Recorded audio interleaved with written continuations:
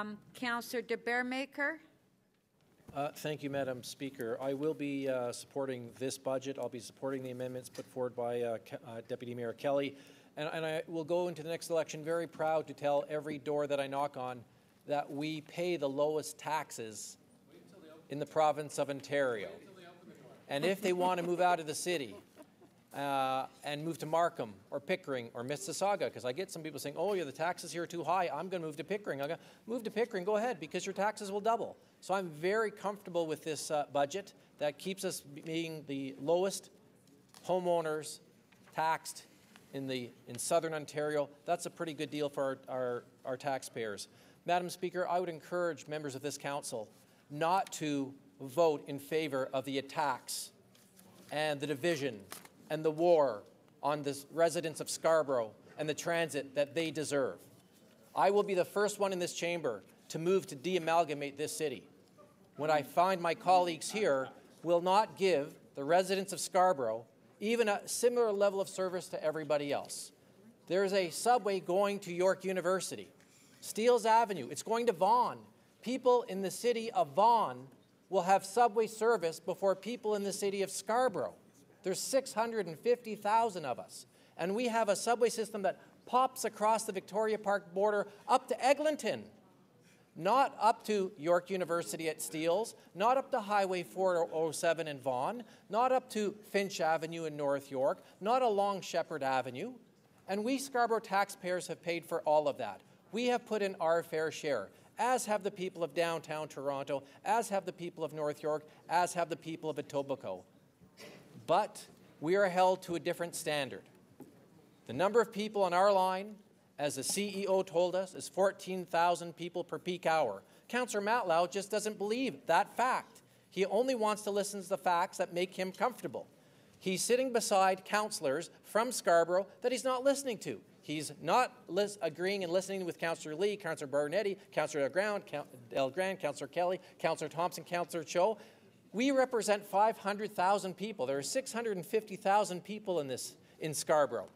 You won't listen to us. And I wish you would take a lesson from downtown Toronto history because in the 60s, if my memory is correct, there was a transportation project that the people of Toronto stood up and said, "We don't want this transportation project. You can give us tens of millions, hundreds of millions of dollars to build the Spadina Expressway all the way down to the Gardiner. But we don't want it. The people rose up and said, We don't want this form of transportation. We want something different. And you know what? They won. And the politicians of the day listened to those people. And the Premier of Ontario, Bill Davis, cancelled that expressway and was re-elected. Now we have a Scarborough LRT line. Nine out of 10 councillors are telling this chamber, we don't want it. But you're not listening to us. You're not listening to us. You think you know better than us? You think you're smarter than us? You think you have the facts better than us? You sit on your perch in downtown Toronto, you look down at us and say, You don't need a subway station.